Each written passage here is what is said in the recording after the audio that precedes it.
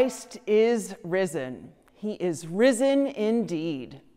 In the grace and peace of our Lord Jesus Christ, welcome to Old Stone Presbyterian Church. Welcome to this worship for this Easter Sunday, the Sunday when we celebrate the resurrection of our Lord, April 4th, 2021. My name is Anna Pinkney Straight. I am the pastor of Old Stone Presbyterian Church and whether you are joining us through this YouTube video or on the radio, it is good that we are together. I hope that you'll follow along with today's service using the bulletin that you can find on our website, oldstonechurchwv.com. I also hope that you'll consider joining us next week for worship and the weeks after. There are many ways you can do that. You can gather here in person. We are following social distancing guidelines and wearing masks. We are not engaging in congregational singing at that, this point, but we are here in person. We are also live streaming that worship service on our YouTube channel, where you may be watching this video right now. So if it is not time, if you do not feel it is time to return to the sanctuary, you can join us and watch the service as it happens. And as has been our long-standing tradition, you can also listen to our worship services on the radio. Wherever you are, however you have come to be with us in worship, it is good that we are together. Please join me in the litany for Easter. He came from God to speak words of love. Christ has risen. Christ has risen indeed. He traveled and spoke and healed and listened. Christ has risen. Christ has risen indeed. To all who would follow, he promised life. Christ has risen. Christ has risen indeed. For every child of God, he gave his life. Christ has risen. Christ has risen indeed. The good news has been given to share. Christ has risen. Christ has risen indeed. We are Easter people. Christ has risen. Christ has risen indeed.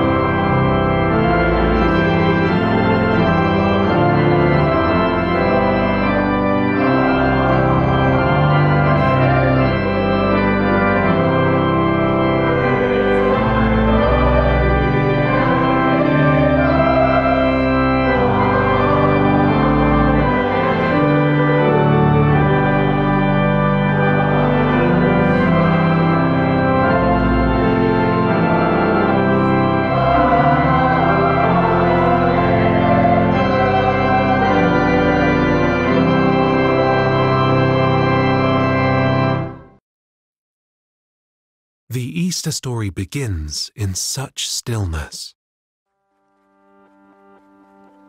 An early morning, heavy hearts and slow feet. Making their way toward an immovable rock. But the women arrive at the tomb only to find out that the body and the story they thought it held could not be contained. Death burst forth into life. The resurrection is God's reaching into the world with boundless love to gift us all with new life and a new beginning.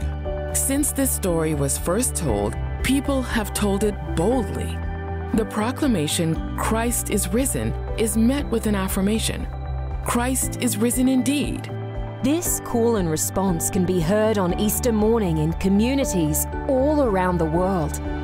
When you say it, in just a moment, imagine the voices echoing this good news back to you. And not just from the corners of your room or sanctuary, but from large cathedrals and remote villages across the globe. In a moment, I'll say, Christ is risen. And you are invited to respond, Christ is risen indeed, with the fullness of your voice and your body. Shake off your own stillness and let us reach to embody the scope of this good news. Reaching high up to the sky, like you're praising God, like you're surrendering to the wonder. Christ is risen. Christ is risen indeed. Reaching way out to your sides, like you're sharing your love, like you're embracing your neighbor. Christ is risen. Christ is risen indeed. Reaching far out in front of you, like you're being called into the world, called to this very place. In this very moment, To live this good news. Christ is risen. Christ is risen indeed. Hallelujah. This Easter, let the story of resurrection move you. Let it shake you from stillness. Let it open your imagination and expand your hope. Let it grow your sense of what is possible in your life and in the life of the world.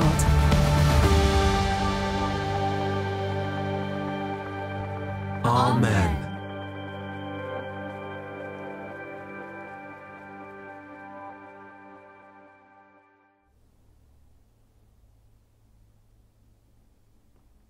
Let us pray.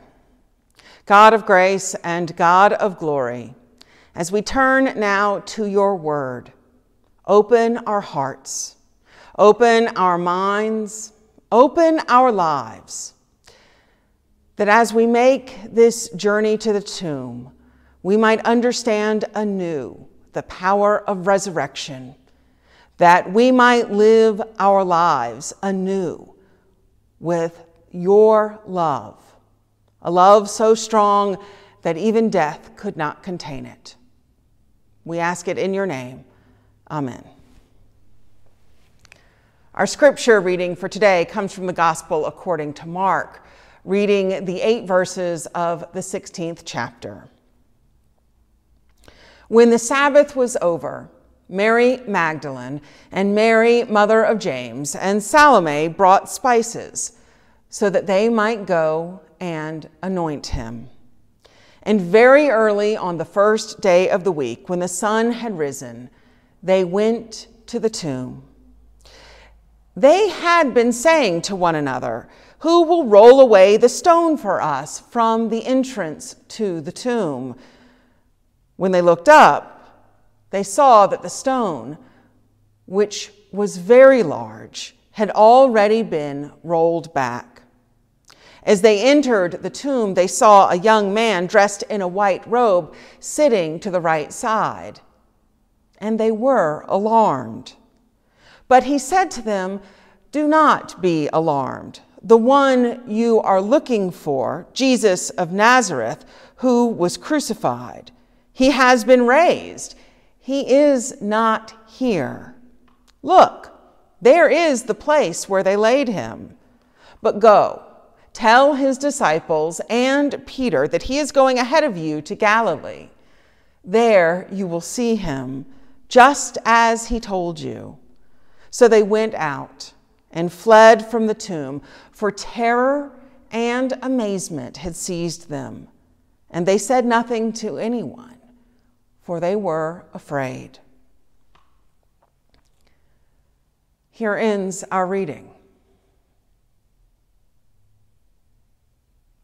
If I were to choose a favorite account of the Easter story from the Gospels, I think that I would choose Mark. I like Mark because Mark does not mince words. Mark only tells us what is absolutely necessary. And I like the way Mark ends the Easter story. In fact, his whole gospel. He ends it with a cliffhanger, and he ends it with fear which feels far more natural to me. That's what Mark does. It's not victory, it's not triumph, it's uncertainty.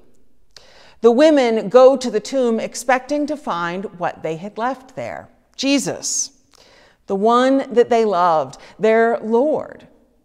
They were there when he was placed in the tomb. They saw Mark is very clear about that. They saw the stone being rolled into place, a very large stone. And so, reasonably, when they go back to the tomb, they think that Jesus will be inside of it. It is a reasonable expectation to find things where you left them. And how are they as they go to the tomb early in the morning? Well, they're sad. They're devastated, they're disoriented, they're grieving, they're heartbroken. And when they arrive and find that the stone has been moved and that there is a young man in a robe sitting inside, well, how are they then? Well, they're still sad and devastated and disoriented and grieving, only now they're alarmed too. They don't know what's going on. The man who is thought to be an angel tells them what we already know, but they do not yet understand that Jesus has risen. He is no longer there. The angel tells them, Do not be alarmed. Look, there is the place where they laid him, but go tell the disciples and Peter that he is going ahead of you to Galilee. There you will see him, just as he told you and then they run away. They are amazed and they are terrified. And because they are afraid, they tell no one, Mark reports. In Mark, there are no resurrection appearances. There is no walk on the road to Emmaus, no doubting Thomas. Mark ends his gospel with women who are afraid to tell what they have seen. It is an unsettling ending. And in generations after Mark concluded his gospel, it was tried to wrap it up a little more neatly. Twice they tried to write different endings to the gospel of Mark, things that left it a little bit happier or a little more understandable. But that's not how Mark intended it. He ends it with fear and when you look honestly at what was going on in the world at that time for those women, a response of fear is not out of line. Brian Blount, president of Union Presbyterian Seminary, has written This is why the emotional content of chapter 16, the first eight verses, is fear. The fear is appropriate not only to this ending, but to the entire gospel.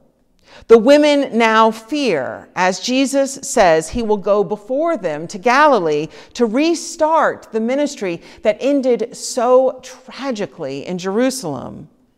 Fear is a natural reaction to a discipleship whose content is the way to the cross. Anyone who truly understands what it is to be a disciple of Jesus is a little bit afraid. If you're not afraid, Blount writes, you don't understand. This is why Mark doesn't want to stress resurrection appearance that will wipe out the fear with a victorious ending. Mark does not end with a victorious ending, he ends with silence. And on the surface, it may seem like the women have failed. They don't go and tell. But did they fail, really? Because after all, aren't we here? They did tell, just not in the moment, not in time for Mark to record it. After all, we are here. They did tell, and so did someone else, and someone after that, and someone once again. They did tell. My colleague Heather Shortledge says, I can't read Mark's version of the story without confronting with what so many label as the women's failure only fear, flight, and silence.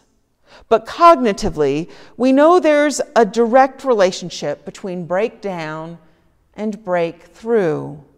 Sometimes we have to fail before we can start to grow. I'm not usually a fan, she writes, of contemporary self help gurus, but Cynthia Occelli spells it out rather clearly. For a seed to achieve its greatest expression, it must come completely undone. The shell cracks, its insides come out, and everything changes. To someone who doesn't understand growth, it would look like complete destruction. Maybe, Heather concludes, the women had to feel the weight of their silence before they could find the words to tell their story. The women didn't fail because where Mark ends his gospel is not the end of the story. The story was still unfolding even as Mark concluded his writing. The story is still unfolding before us. Resurrection is still happening. And we are still being surprised and alarmed and rendered speechless by Jesus. And if we aren't, are we really paying attention? Resurrection is still happening with crocus and daffodils bursting forth from ground that just a few weeks ago was frozen. Quarantines that are beginning to loosen, vaccination rates that are going up just as infection rates are going down. Resurrection is still happening. But it takes time for it to happen. And it takes time for us to take it all in and to bear that weight so that we can tell the story. Now, as much as last year's Easter felt more like the original Easter with its aloneness and its isolation, this year's Easter, I believe, is much more like the disciples' response to what is happening as we begin to emerge from this last year, I find that we are unsteady and uncertain and tentative in taking steps forward. And that's okay because we aren't the same people as we were 14 months ago. And that's good and heartbreaking all at the same time. And so the ground we're walking on does feel a little uncertain. We should be patient and deliberate about how we move forward so that we can move forward faithfully and thoughtfully, prayerfully and hopefully about how we will open ourselves and this world. I find that we forget how to do even basic things because it's been so long. At least I have found that. Even things like simple everyday conversations. Early on in the pandemic, when we were all still at home and everything was shut down, Ben and I were out for a walk with our dog, Aspen, when we encountered one of our neighbors across the street and they shouted a greeting and asked how we were doing. Well, without even thinking, I piped up and said, Great, we're having tater tots for dinner. Well, the neighbor looked a little quizzically at us and then smiled and moved on. And I was left to say, Tater tots for dinner? Who says that? What kind of response is that? It felt like I'd forgotten the most basic of human interactions what to say and how to behave. So we have to relearn things like basic conversation. That's, of course, an easy thing. but we're also going to be learning and relearning hard things like trauma and grief that hasn't been processed. What impact is this past year going to have on those who are most vulnerable, those who have been most isolated, those who have had the greatest need, many needs which have gone unmet?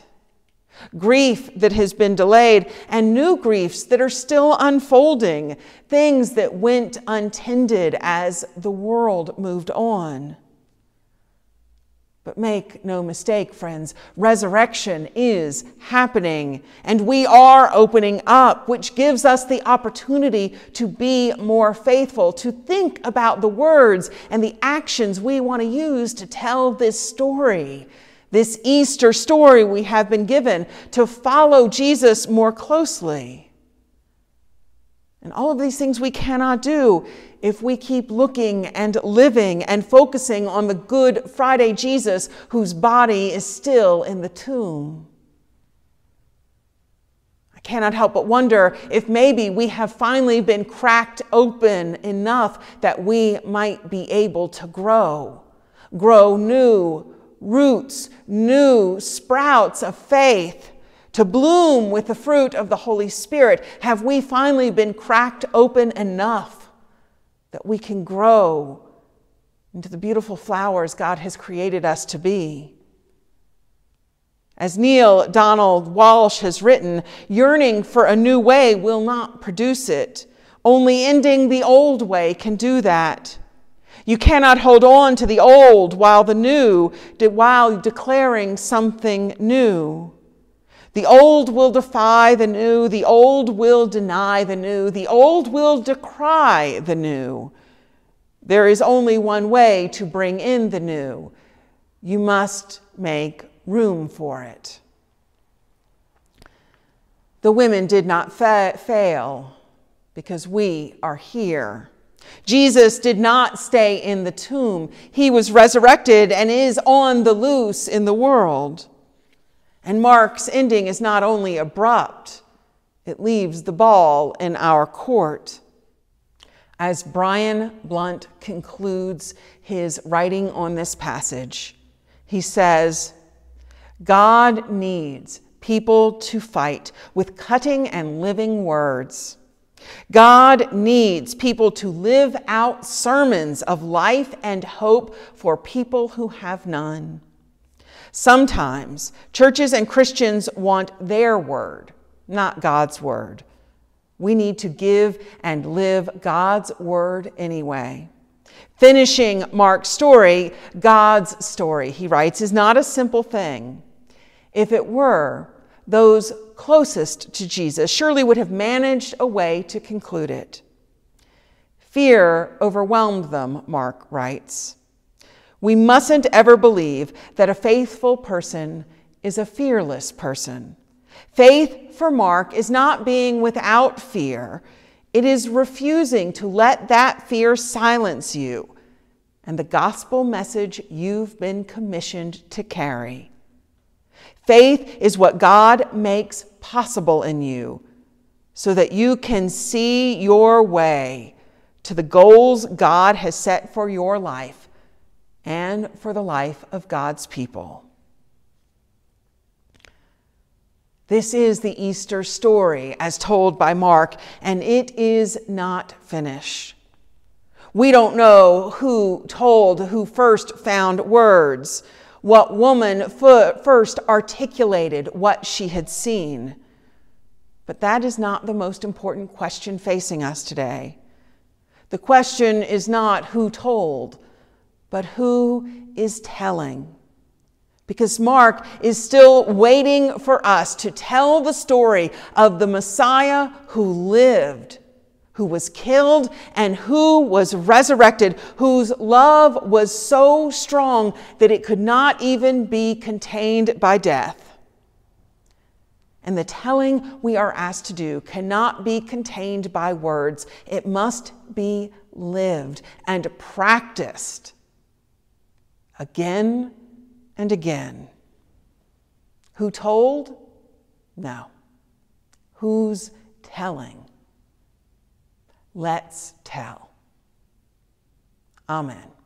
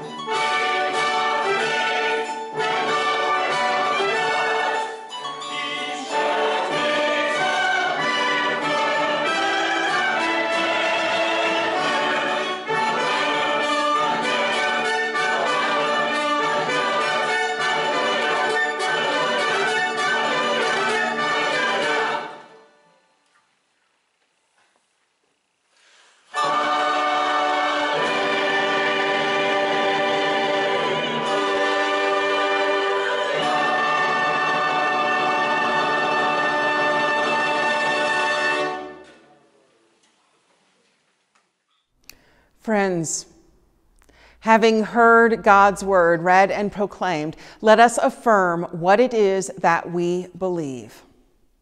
This is the good news. The grave is empty, Christ is risen. Alleluia.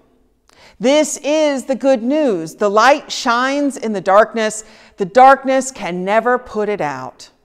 Alleluia. This is the good news. Once we were no people, now we are God's people. Alleluia. Christ is our peace, the indestructible peace we now share with each other. Alleluia.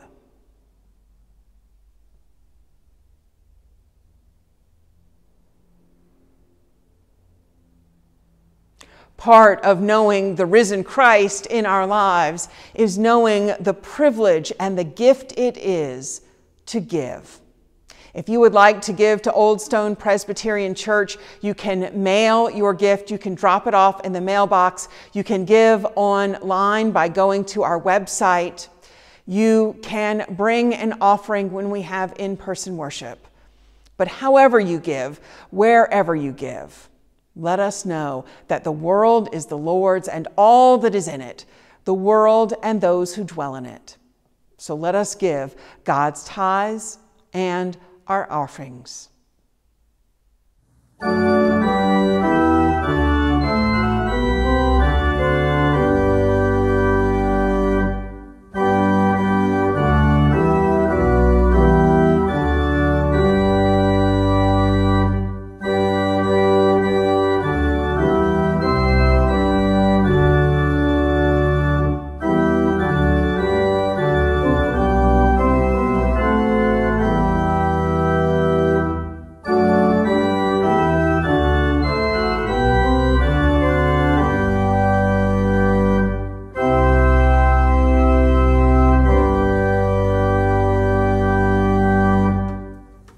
Us pray.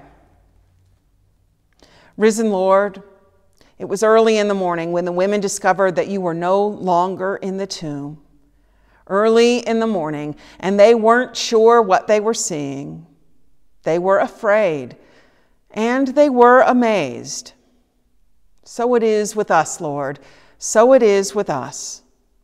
We know that there is good news this morning but God, we aren't always certain how we should or could respond because the world doesn't always seem ready, or if we're being honest, we don't always feel ready.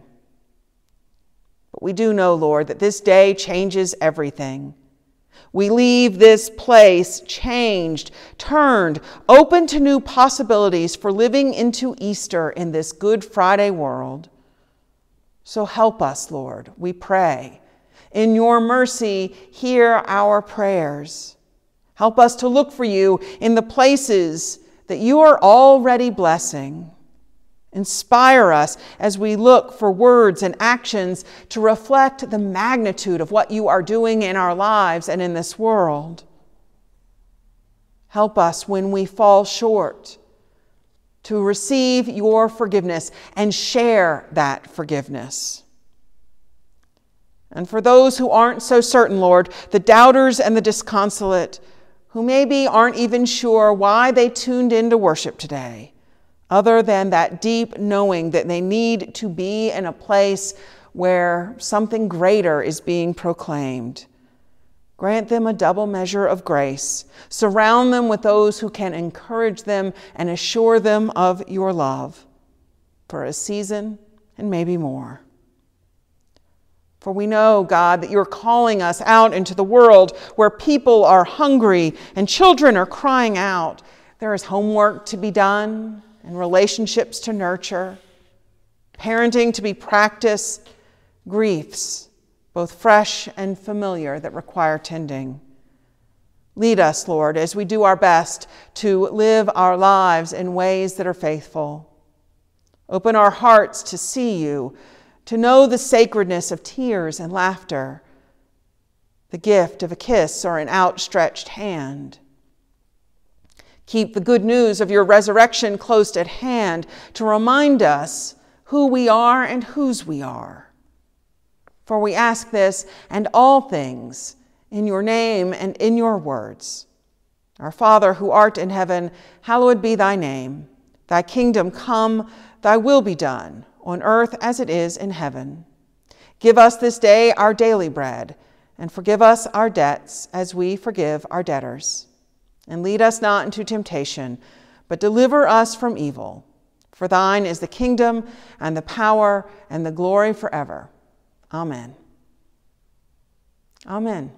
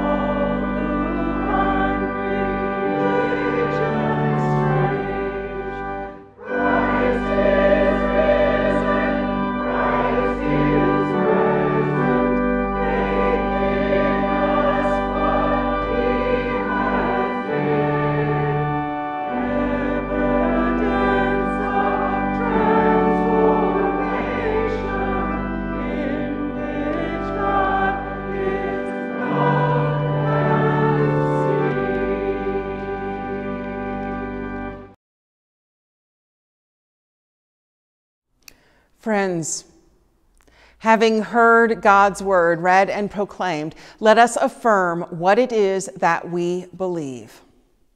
This is the good news. The grave is empty, Christ is risen. Alleluia. This is the good news. The light shines in the darkness, the darkness can never put it out.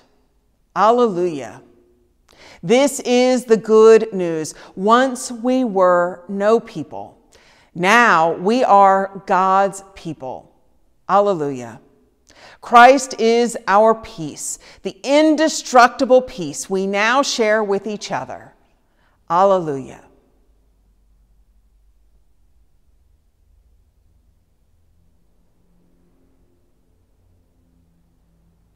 Part of knowing the risen Christ in our lives is knowing the privilege and the gift it is to give. If you would like to give to Old Stone Presbyterian Church, you can mail your gift. You can drop it off in the mailbox. You can give online by going to our website. You can bring an offering when we have in person worship.